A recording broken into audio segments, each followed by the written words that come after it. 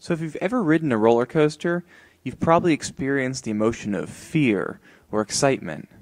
And accompanying that feeling of fear and excitement, you probably felt your heart rate increasing, maybe you were breathing a little bit quicker.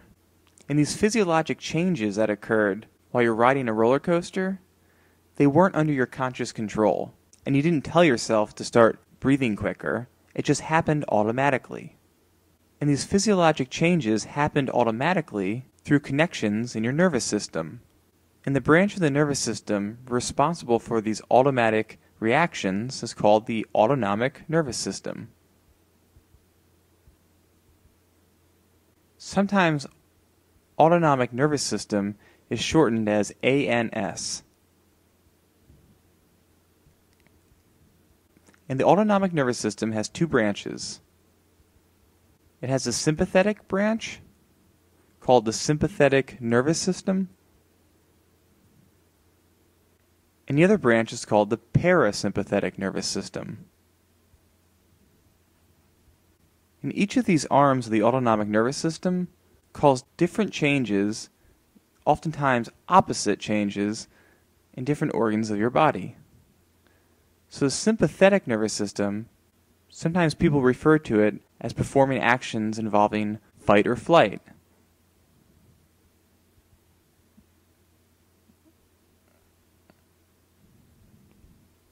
Whereas people refer to the parasympathetic nervous system as rest and digest.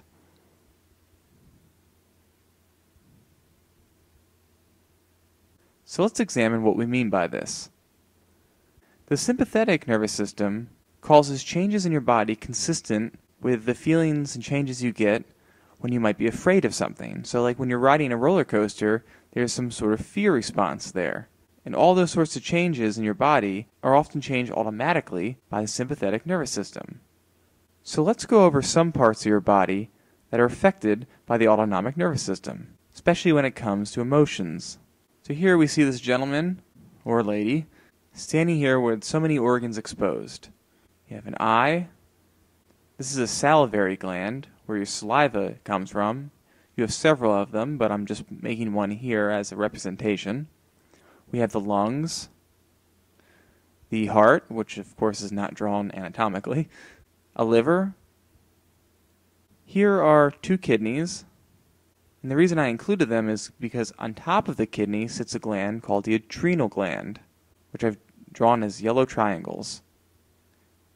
And the adrenal gland is responsible for releasing hormones like adrenaline. Adrenal, adrenaline. That's where the name comes from. And here is your GI tract, known as the gastrointestinal tract. Now, I didn't draw the entire thing, which goes from top to bottom, but I just drew it here to represent that I'm talking about the GI tract. So let's go through this one at a time and see how they react and respond to the different arms of the autonomic nervous system.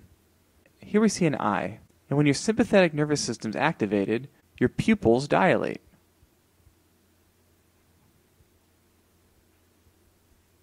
And the reason why you would want your pupils to dilate when they're activated by the sympathetic nervous system is if you think of it in the context of fight or flight.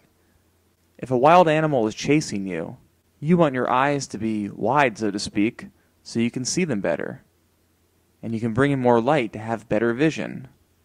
So that's the idea of your pupils dilating. And as I said here, this is the salivary gland, and the sympathetic nervous system causes decrease in salivation. An easy way to remember this is think of a time when you had to do a public speaking presentation. if you felt really nervous speaking in public, you might notice that you get a dry mouth and have to sip water a lot. And that's why people who give lectures sometimes have to drink a lot of water. And here we have the lungs. And the sympathetic nervous system causes your respiratory rate to increase. In other words, you breathe quicker. The sympathetic nervous system also makes your heart beat quicker, so you have an increased heart rate. And the reason for having an increased heart rate as well as an increased respiratory rate, is so that your body has better oxygenation.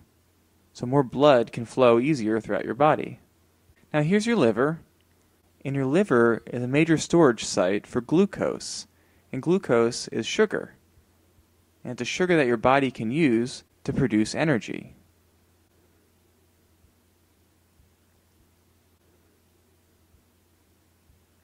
And the idea behind wanting increased glucose to be released is consistent with the other areas we talked about. Having increased glucose gives you more energy to fight or flight. Here, as I said earlier, are the adrenal glands. And the adrenal glands sit on top of each kidney. Now, your kidneys are actually closer to your back than towards your front. So I drew it kind of transparent so you get the idea that, that they're farther away.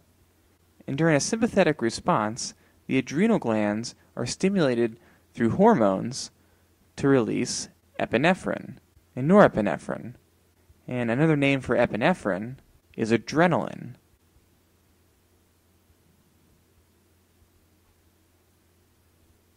And adrenaline gives you a real boost of energy. And of course, that energy is needed in a situation involving fight or flight. And here's the GI tract, and one of its main functions is to digest food. But digesting food takes up a lot of energy.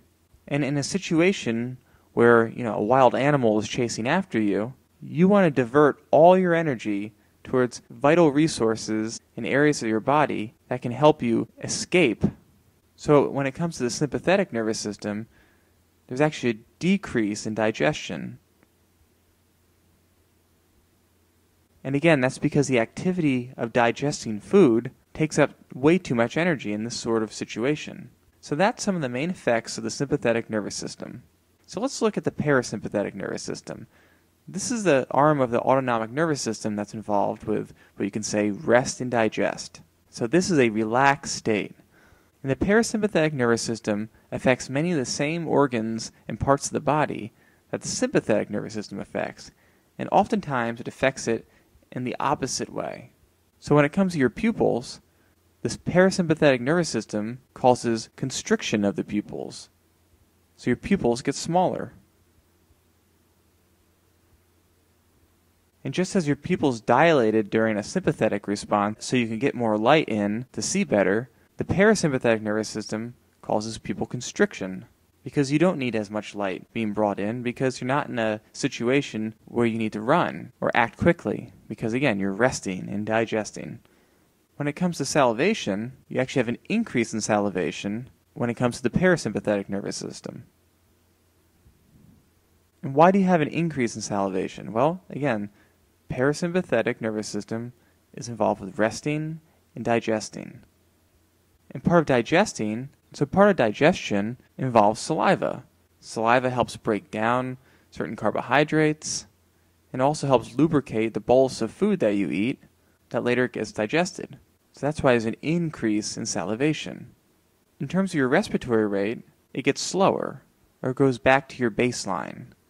So to represent that, I'll put a down arrow. I'll put a down pointing arrow.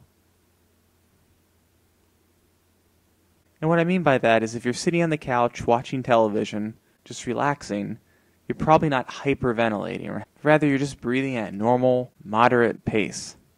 So in the parasympathetic nervous system, you're breathing at a moderate or decreased rate because you don't need the extra oxygenation. And the same goes for your heart rate. So your heart rate also goes back to normal, or at least it decreases compared to when it's in sympathetic state.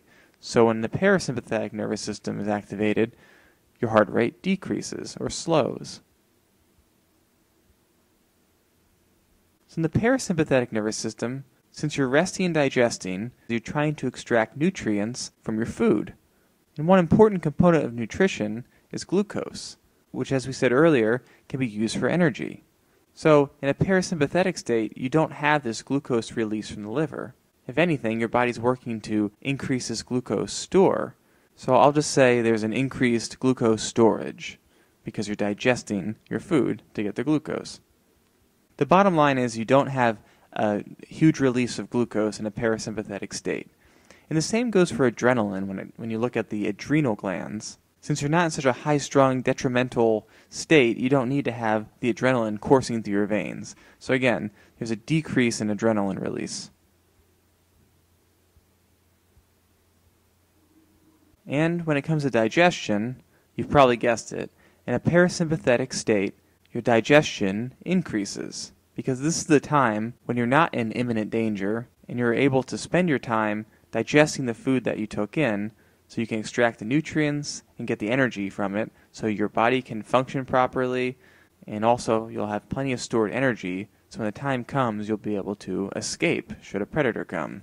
So this is some of the basic functions of the parasympathetic nervous system. Of course there are more functions than the ones we listed, but I think these are the most relevant when it comes to an emotional response.